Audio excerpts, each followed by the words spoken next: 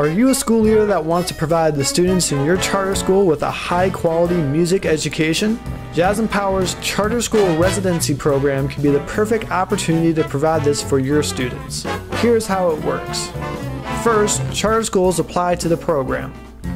Then, selected schools pay Jazz Empowers a programming fee. Third, Jazz Empowers hires a highly qualified music educator to lead the program. Then Jazz Empowers runs the program for the entire school year with two to three rehearsals per week.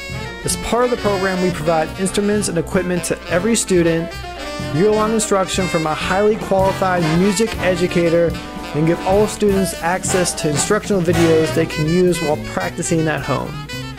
Take the next step and apply today at jazzempowers.org.